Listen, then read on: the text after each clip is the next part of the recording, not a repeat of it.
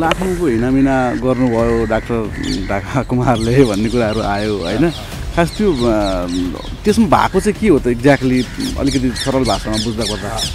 वास्तवमा अब मैले पहिला सहकारी छोड्दाखेरि सबै राम्रै अवस्थामा छोडेको। मैले कार्यभाग दिएर उपाध्यक्ष चिया धमालजीलाई छोडिदिएर ल राम्रोसँग सञ्चालन गर्नुहोस् भनेर म आफ्नो कार्यव्यस्तताले गर्दाखेरि आएँ त्यसै बिचमा अब अलिकति समस्या आयो होला त छुट्टै कुरा तर मेरो मेरो कार्यकालमा म अध्यक्षता ग्रहण गर्दै गर्दासम्म चाहिँ सहकारीमा हो। अब अलिकति लिक्विडिटी बढेको अवस्थामा नेपालकै सहकारी तलमाथि भएको छन् तर हामीमा त्यस्तो कुनै नराम्रो केही भएको थिएन। अहिले हामीले गृहमन्त्रीमा सिडिओ सरुवाको बेलामा थुप्रै व्यतिथिहरू हुन्थ्यो। त्यो कुरालाई थुप्रै सिफारिसहरू भएर भ्रष्टाचार हुने कुराहरू हुन्थ्यो। त्यो कुरालाई हामीले व्यवस्थापन गर्नको लागि कार्यविधि बनाएका छौँ। अब सिडिओ सरुवामा हुने चलखेलहरू राजनीतिक हस्तक्षेपहरूलाई हामीले मुक्त गराएका छौँ यस पोलिटिकल इस्युले गर्दाखेरि भएको अरू त्यो करडौँ यहाँ हो मलाई खान नपिएर सुरु गरेको सहकारी भएको। छोटो समयमा नै राष्ट्र रासोपा चाहिँ एकदम अगाडि आएर सरकार बनेर रह- रहँदाखेरि केही मानिसहरूलाई छटपट्टि लागेको छ।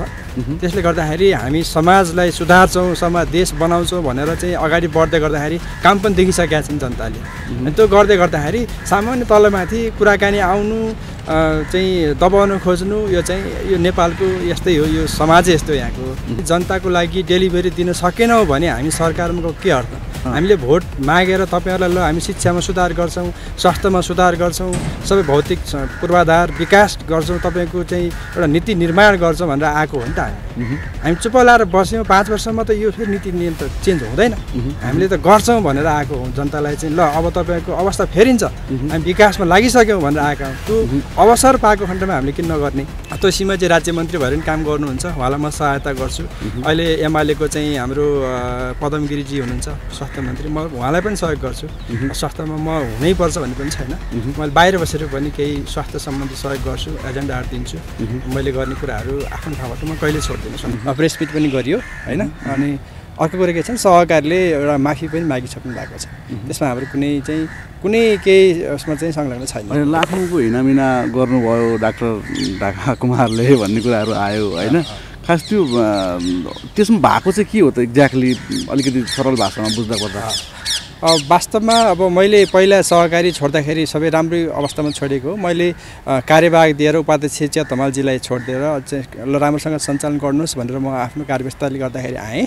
अ, त्यसै बिचमा अब अलिकति समस्या आयो होला त छुट्टै कुरा तर मेरो मेरो कार्यकालमा म अध्यक्षता ग्रहण गर्दै गर्दासम्म चाहिँ सहकारीमा हो। अब अलिकति लिक्विडिटी बढेको अवस्थामा नेपालकै सहकारी तलमाथि भएको छन् तर हामीमा त्यस्तो कुनै नराम्रो केही भएको थिएन। म एउटा कृषकलाई कृषकको जुन उत्पादनलाई उहाँहरूकै उत्पादन उहाँहरूले गर्ने र उहाँहरूबाटै चाहिँ बजार व्यवस्थापन गर्ने बिचौले हटाउने भनेर मैले नि स्थापना गरेको सहकारी हो। त्यो चाहिँ आम कृषकलाई फाइदा पनि भएको छ।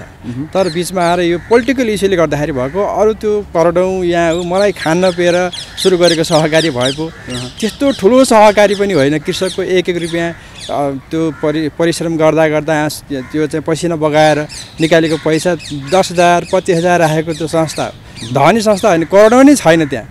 भने करोडको आरोप लगाउनु भएको त्यो मिथ्या छ त्यो कुनै आधारहीन छ। त्यसको त्यो समाधान भइसक्यो होइन? त्यो भइसक्यो प्रेस मिट गरियो उहाँहरूले माफी पनि मागिसक्नु भयो। त्यहाँको सहकारीको साथीहरूले के पनि भन्नुभएको छ भने हामीले भनेको होइन। यो कसरी निस्क्यो यो चाहिँ आधारहीन हो हामी यसको लागि तपाईँलाई मानहानि भएको कुरामा हामी क्षमा प्रार्थी छौँ भनेर साथीहरूले पनि प्रेस भनेपछि हामीले यसरी बुझौँ डाक्टर ढाका कुमार श्रेष्ठ जब राष्ट्र स्वतन्त्र पार्टीबाट मान्यज्यू हुनुभयो संसद भवन छिर्नुभयो त्यस पछाडि यहाँको पछाडि केही व्यक्तिहरू केही तत्त्व लागेको रहेछ नि त त्यसले त्यसकै परिणाम चाहिँ यो हो भन्ने कुरा हो त्यसो भए। त्यसरी बुझ्दा हुन्छ यो सत्य नै हो मसँग अडियो रेकर्ड पनि छ। तर मैले केही साथीहरूलाई किन चाहिँ रा बेकारको समाजमा बाहिर ल्याउँ भनेर निकालिनँ त्यो चाहिँ आधारित हो। त्यो चाहिँ मसँग प्रमाणसहित छ केही साथीहरू खेलेकै हुन्। पोलिटिकल इस्युले खेले नियोजित ढङ्गले नियोजित ढङ्गले गरे। अब पछिल्लो समय यसो हेर्ने हो भने राष्ट्रिय स्वतन्त्र पार्टीका विभिन्न मन्त्री समेत बन्न सक्नुभएका व्यक्तिहरू अथवा संसदहरूमा चाहिँ विभिन्न किसिमका प्रश्नहरू उठाउने काम भइरहेछ। यसलाई नियोजित लिने कि अथवा साँच्चीकै यो भएकै व्यक्तिगत रूपमा गरेकै कुराहरूलाई बाहिर आएका हुन् भन्ने यहाँको विचार हो? खास के हो यो? तपाईँले छोटो? छोटो समयमा नै राष्ट्र रासोपा चाहिँ एकदम अगाडि आएर सरकार बनेर रह- रहँदाखेरि केही मानिसहरूलाई छटपट्टि लागेको छ। त्यसले गर्दाखेरि हामी समाजलाई सुधार्छौँ समाज देश बनाउँछौँ भनेर चाहिँ अगाडि बढ्दै गर्दाखेरि काम पनि देखिसकेका छन् जनताले। त्यो गर्दै गर्दाखेरि सामान्य तलमाथि कुराकानी आउनु चाहिँ दबाउनु खोज्नु यो चाहिँ यो नेपालको यस्तै हो यो समाजै यस्तो यहाँको। तपाईँहरूले सबैलाई बुझिराख्नु भएको छ होइन? त्यो चाहिँ सामान्य कुरा हो। कुनै साथीहरू पनि नराम्रो हुनुहुन्न विज्ञ नै हुनुहुन्छ विज्ञताको हिसाबले नै हाम्रो रवि लामिछाने जुन पार्टी सभापति हुनुहुन्छ उहाँले चाहिँ राखेको चाहिँ चयन गर्नुभएको नि हो। हामीले उहाँलाई म्यान्डेट दिएका थियौँ र उहाँले चयन गरेर मन्त्रीमण्डल गठन गर्नुभयो। मन्त्री बनाउनु भयो मण्डल भन्दा पनि मन्त्री हाम्रो पार्टीबाट चयन गराएर लानुभयो। त्यसमा चाहिँ कुनै आपत्ति छैन। उहाँहरू सब सबैजना एक से एक हुनुहुन्छ। आफ्नो आफ्नो पछिल्लो समय यसरी मन्त्रीमण्डल गठन भइसके पछाडि होइन राष्ट्रसभाबाट जति पनि मन्त्रीहरू बन्नुभयो र प्रोसेसमा अझै पनि हुनुहुन्छ कतिपय व्यक्तिहरू होइन। अब राष्ट्रसभा पनि सत्ताको मोहमा अलिकति बढी लालायत भयो भन्ने कुराहरू आइरहेछ। के बुझ्नुहुन्छ यसलाई? यस्तै हो त? अधिक खास के हो यो? भएकै हो अवस्था? यो चाहिँ भन्न मिल्दैन। जस्तै हामीले चाहिँ जनताको लागि डेलिभरी दिन सकेनौँ भने हामी सरकारमा के अर्थ? हामीले भोट मागेर तपाईँहरूलाई ल हामी शिक्षामा सुधार गर्छौँ स्वास्थ्यमा सुधार गर्छौँ सबै भौतिक पूर्वाधार विकास गर्छौँ तपाईँको चाहिँ एउटा नीति निर्माण गर्छौँ भनेर आएको हो नि त हामी। हामी चुप लाएर बस्यौँ पाँच वर्षमा त यो फेरि नीति नियम त चेन्ज हुँदैन। हामीले त गर्छौँ भनेर आएको हो जनतालाई चाहिँ ल अब तपाईँको अवस्था फेरिन्छ। हामी विकासमा लागिसक्यौँ भनेर आएका हौँ। त्यो अवसर पाएको खण्डमा हामीले किन नगर्ने। जस्तै अहिले चाहिँ हाम्रो पार्टी सभापति गृहमन्त्री हुँदाखेरि कति सुधार भइसक्यो। होइन भोलि अब शिशिर खनालजी हुँदाखेरि अब कति सुधार होला शिक्षामा त्यो सुधार जहाँ हाम्रो एउटा ठाउँ पाउँछौँ त्यहाँ सुधार देखाउँछौँ। होइन? त्यो कुरा हो त्यो सक यो सत्ताको लोभ लिप्त भन्ने कुरा हुँदैन। जहाँ पाइन्छ हामी त्यहाँ काम गरेर देखाउँछौँ। अब जनताले देख्नेछन् देखेर जब चाहिँ भोग्नुहुन्छ नि अनि बल्ल उहाँहरूलाई चाहिँ एउटा फिल आउनेछ कि साँच्चै राष्ट्रसभा चाहिँ ठिक रहेछन् राष्ट्रसभा पार्टी ठिक रहेछ यहाँ लाग्ने व्यक्तिहरू ठिक रहेछन् यहाँ उहाँहरूले बनाएको मन्त्रीहरू ठिक रहेछन् भन्ने कुरा चाहिँ फिल हुनेछ। तर। अहिले पछिल्लो समयमा बाहिर आम सञ्चार माध्यमहरू पनि केही कुराहरू आइरहेछन् भने विज्ञता दक्षताको आधारमा दिनु त सही स्वाभाविक कुरा पनि हो।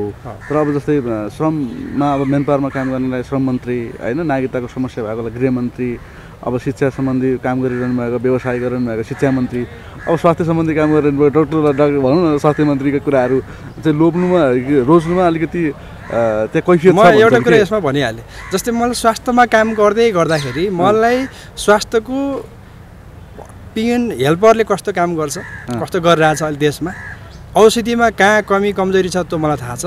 डक्टरले कहाँ कहाँ बिगार्नु भएको छ कहाँ राम्रो काम गर्नु भएको छ त्यहाँ भएको व्यतिथि विसङ्गति अब यसलाई सुधार्ने कसरी अस्पताल कतिवटा छन् बेड कस्ता छन् बिरामीले कतिको दुःख पाछन् म आफै भोगेर आएको छु नि त। अब म बनेको भएदेखि म अथवा हाम्रो पार्टीको अहिले तोसीमाजी पनि हुनुहुन्छ। अब हामी त्यही विज्ञ भएको हुनाले त्यही क्षेत्र पाउँदाखेरि त यो त जनताको लागि त हामीले यहाँ गल्ती कमजोरी छ अब यसलाई सुधार्नुपर्छ नि त हामीलाई थाहा छ नि त। हो थाहै नभएको स्वास्थ्यको सह थाहा नभएकोलाई भन्दा त हामी त अब सुरु गरिहाल्छौँ नि काम। जो नयाँ मान्छे आउनु आउनुहुन्छ उहाँलाई त एक वर्ष लाग्ला सिक्नै। कहाँ व्यतीत छ थाहा पनि छैन होला। हाम्रो सहायता चाहिएला छुट्टै कुरा। तर के हो भने हामी आफै विज्ञता भएको हिसाबले त्यहाँ काम गर्नु सजिलो हुन्छ। श्रममा काम गर्ने भएको साथीहरू हुनुहुन्छ डोलप्रसाद हरियालजी। उहाँले त्यसमा काम गरेर त्यहाँको कहाँ के कमी कमजोरी छ थाहा छ। अब उहाँले अवश्य पनि भोलिबाटै आजैबाटै काम गर्न सुरु गरिसक्नु दक्षताको आधारमा मन्त्रीमण्डल विस्तार गर्दा त मन्त्री पदमा गइरहँदा जिम्मेवारी लिँदा विरोध गर्नु पनि जरुरी छैन। जरुरी छैन। किनभने उहाँ त डे वानबाट काम गर्न लग एकदम सक्षम हुनुहुन्छ नि त। सिक्नु पर्दैन। उहाँको सबै कुराहरू भित्री कुराहरू थाहा हुन्छ। त्यस्ता मान्छेलाई बनाउनु त झन् राम्रो कुरा होला नि त्यसको। यसो भनिरहँदा तपाईँको नाम स्वास्थ्य मन्त्रीको लागि चाहिँ सिफारिस भएको छ अथवा हुँदैछ भन्ने कुराहरू सञ्चार माध्यमहरू पनि आए। यहाँले पनि अलिकति केही कतै न कतै हिंस त देखाउनु भएको थियो। हजुर। हुनु भएन नि यहाँलाई प्रस्ताव राखिएन नि। आखिर के हो कारण? हुन त अब तपाईँकोबाट पार्टीबाट स्वास्थ्य तथा राज्य मन्त्री त तोसीमा कार्य हुनुहुन्छ। यहाँको नाम सिफारिस नहुनुपर्ने कारण खास के हो? यस्तै छ अब हामी हाम्रो पार्टीमा तिनजना डक्टर छौँ। चन्दा कार्की म्याडम अनि तोसीमाजी र म हो। अब पार्टीले स्वास्थ्य चाहिँ मन्त्रालय मागेको पनि हो। अब यो भागबन्डाको हिसाबले हामीलाई परेन होइन? नाम सिफारिस गरेकै हौँ दावेदारी पनि हौँ। अब भनौँ न अब एउटा पार्टीको आफ्नो आफ्नो हुन्छ कुराहरू हुन्छ आन्तरिक कुराहरू। त्यसले गर्दाखेरि अहिले अब तोसीमाजीलाई राज्य मन्त्री दिएको छ। अब यो सरकार चाहिँ पाँच वर्षको होइन। आज पनि हाम्रो पार्टी सभापतिजीले भन्नुभएको छ। यो साढे दुई वर्षको सरकार हो है सबै मन्त्रीज्यूहरूलाई थाहा पाइराख्नुहोस् फेरि मन्त्रीमण्डल यताउति गठन गर्दाखेरि क्रममा कोही पर्ने कोही नपर्ने हुन्छ। साढे दुई वर्षपछिको मन्त्रीमण्डल फेरि अर्को साथीहरू पनि जानु सक्नुहुन्छ भनेर भनिसक्नु भएको छ। सायद अब वेट गरौँ होइन? किन हात दिनु अहँ। तोसीमा चाहिँ राज्य मन्त्री भएर पनि काम गर्नुहुन्छ। उहाँलाई म सहायता गर्छु। अहिले एमालेको चाहिँ हाम्रो अ, पदम गिरिजी हुनुहुन्छ स्वास्थ्य मन्त्री। म उहाँलाई पनि सहयोग गर्छु। स्वास्थ्यमा म हुनैपर्छ भन्ने पनि छैन। मैले बाहिर बसेर पनि केही स्वास्थ्य सम्बन्धी सहयोग गर्छु एजेन्डाहरू दिन्छु मैले गर्ने कुराहरू आफ्नो ठाउँबाट म कहिले छोड्दिनँ स्वास्थ्यको लागि। अब अहिलेको सरकारको विषयलाई लिएर पनि अलिकति कुरा गरौँ न। यो सरकार त्यति धेरै टिक्न सक्दैन अथवा सफल हुँदैन भन्ने खालका कुराहरू पनि आउँछन्। यहाँको नजरमा यहाँको चाहिँ बुझाइमा के हो त? आम मानिसले कसरी बुझ्ने त यो सरकारलाई? अब साँच्चीकै रासोपा छ। रासोपा भइसके पछाडि सरकारको पनि परिवर्तन आउँछ भन्ने हुन्छ कि? अथवा साँच्चीकै आम जनताले अथवा बाहिर आएको हल्ला जस्तै यो सरकार काम चलाउ सरकार मात्रै हुन्छ के हो? तपाईँको विचारमा के लाग्छ? अब सरकार त पाँच वर्षलाई भनेर अब अहिले गठन भइसकेका छ बनिसकेका छ। अब साढे दुई वर्षलाई त मजाले जान्छ नि यसमा दुई मन छैन। त्यस पछाडिको सरकारमा अब सायद अब मिलिमतमा फेरि अब हाम्रो केपी ओलीजीको बन्ने होला छ। सायद बन्ला अब यसमै अब यो राजनीति नेपालको राजनीतिलाई चाहिँ अब हामी तपाईँहरू सबै बुझेकै छौँ। अब के होला कसो होला होइन? अब तर यो साढे दुई वर्ष त ढुक्कसँग। साढे दुई वर्ष त ढुक्कसँग चल्छ सरकार। भन्ने विश्वासमा छु म चाहिँ। विशेष कुराकानीको लागि धन्यवाद। हस्। अ, सोभिताजीले आफै इन्दिरा नमगरलाई प्रस्ताव गर्नुभएको छ। र उहाँ अयोग्य या इन्दिरा नमगर बढी योग्य भन्ने कुरा भन्दा पनि यसमा पार्टीका विभिन्न कुराहरू हुन्छन्। त्यसमा जस्तो संसदमा हाम्रो पार्टीले प्रभावकारी भूमिका निर्वाह गर्ने कुराहरू पनि हुन्छन् र यसमा अब एउटा सांसदको रूपमा उहाँले सङ्गठन विस्तारदेखि लिएर पार्टीका थुप्रै गतिविधिका कुराहरू हुन्छन्। जहाँनिर चाहिँ अ, सोभिताजीको भूमिका अलिकति बढी प्रभावकारी देखिन सक्छ। र उपसभामुखमा उहाँको भूमिका इन्दिराजीको अलिक बढी देखिन सक्छ भन्ने एउटा समग्र सबै साथीहरूको एनालाइसिस जस्तो भयो र त्यो कारणले गर्दाखेरि सुविधाजी आफैले इन्दिराजीको नाम नै प्रस्ताव गर्नुभयो र समावेशिताका कुराहरूदेखि लिएर थुप्रै कुराहरूलाई पनि हामीले ध्यान दिनु पर्थ्यो र समावेशिताका कुरा ध्यान दिँदै गर्दाखेरि पनि यी फेरि कमजोर पात्रलाई पठाउने भन्ने कुरा हुँदैन भन्नेमा हामी सबै सहमत भयौँ र उहाँ एकदमै दक्ष एकदमै योग्य र बिबिसीको टप हन्ड्रेड वुमेनमा पनि परिसकेको महिला भएको कारणले गर्दाखेरि उहाँ जस्तो योग्य उम्मेदवार हाम्रो लागि अरू उहाँ नै एकदमै योग्य देखेको कारणले हामीले उहाँलाई प्रस्ताव गर्ने निर्णय गऱ्यौँ हजुर।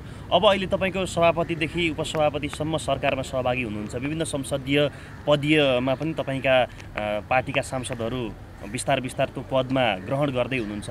अब पार्टीलाई कसरी लानुहुन्छ? तपाईँ महामन्त्री भएको हिसाबमा कसरी अगाडि बढाउने सोच छ? हजुर पार्टीमा विधानमा विभागहरूदेखि लिएर थुप्रै व्यवस्थाहरू छन्। पार्टीमा ती विभागहरू लगायत सङ्गठनका थुप्रै खाली ठाउँहरू अझै पनि खाली छन्। ती ठाउँहरूलाई हामी पुरा गर्छौँ। त पुरा गरिसकेपछि हामी नीति विचारदेखि लिएर थुप्रै कुराहरूको प्रशिक्षण त्यसपछि भेलाहरू गर्छौँ। त्यसपछि छिटै त्यसपछि सबै कुराहरू पुरा भइसकेपछि महाधिवेशन गर्छौँ र पार्टीलाई एकदमै भाइब्रेन्ट बनाउँछौँ र पार्टीलाई पार्टीसँग संसदसँग पार्टीलाई आफ्नो पार्टीको सरकारसँग जोड्नको लागि योजनाहरू बनाएर हामी अगाडि बढ्छौँ। हाम्रा मन्त्रीहरूलाई पार्टीबाट कसरी एउटा टिम ब्याकअप बनाएर सपोर्ट गर्ने हाम्रो सांसदहरूलाई कसरी एउटा टिम बनाएर ब्याकअप बनाएर सपोर्ट गर्ने कसरी तल्लो तह जनतासँग कसरी जोड्ने उत्पादनसँग कसरी पार्टीलाई जोड्ने यी कुराहरूको योजना लगभग लगभग बनि पनि सकेका छन्। ती कुराहरूलाई अब कार्यान्वयन गरेर पार्टीलाई एकदमै भाइब्रेन्ट बनाएर अगाडि बढ्छौँ। हजुर। तपाईँ भनौँ न राष्ट्रिय स्वतन्त्र पार्टीको जुन किसिमको छलाङ छ त्यो सँगसँगै महामन्त्रीको पदमा तपाईँ हुनुहुन्छ। तपाईँले वास्तवमा यो पार्टीलाई नै हाँक्छु भनेर हो कि त्यो संयोगवश नपर्नु भएको सर यो संसदीय यात्रामा अथवा सरकारको यात्रामा तपाईँ हुनुहुन्न अहिले? होइन यो धेरैजनामा मान्छेलाई चाहिँ यो अनपेक्षित लागे पनि हामी चाहिँ लक्ष्य बोकेर हिँडेका थियौँ। र त्यो लक्ष्य बोकेर हिँड्दाखेरि हामीले पहिल्यै नै पार्टी कसै न कसैले हेर्नुपर्छ। यो अवस्था सिर्जना हुन्छ हुँदाखेरि भन्ने कुरा हुँदाखेरि पार्टी चाहिँ मैले हेर्ने महामन्त्रीको रूपमा भनेर पहिल्यै एउटा हामीले योजना बनाए अनुरूप नै म संसदको समानुपातिक होस् या प्रत्यक्ष कतै पनि नलागेर पार्टी पङ्क्तिमा केन्द्रित हुने गरी किन नयाँ पार्टी छ। एकजनाले पुरै टाइम पार्टीलाई दिनुपर्ने जरुरी छ। त्यो अनुरूप नै मैले उम्मेदवारी नदिएको हो। र पार्टीलाई एउटा सङ्गठनात्मक ढाँचामा ढालिसकेपछि पार्टीको सङ्गठनलाई एउटा मजबुत बनाइसकेपछि आगामी चुनावहरूमा म पनि संसदको राजनीति संसदीय राजनीतिमा उभिनेछु तर अहिलेको लागि पार्टी बनाउन एकदमै आवश्यक छ र त्यसैमा मेरो ध्यान केन्द्रित हुनेछ। अहिले जुन किसिमको जनआकाङ्क्षा छ त्यही अनुसारको पार्टीलाई चाहिँ अर्को निर्वाचनसम्म अथवा त्योभन्दा अझ बढी लान सक्नुहुन्छ यहाँहरूले? हजुर निश्चित रूपमा हामीले तपाईँ हेर्नुहुन्छ भने हाम्रो पहिलेदेखि नै भनेको व्यतिथिको अन्त्य र थितिको बसाल्ने कुरालाई हाम्रो पार्टीको मूल एजेन्डा थियो चुनाव जाँदाखेरि पनि। अहिले हामीले हाम्रो साथीहरूले हामी कतिपय कुराहरू नयाँ भएको कारणले अलिकति समय लागि लागेको छ र यो समय लाग्थ्यो भन्ने कुरा पनि हामीलाई सरकारमा जानुभन्दा अगाडि या राजनीतिमा जानुभन्दा अगाडि नै हामीलाई थाहा थियो पनि।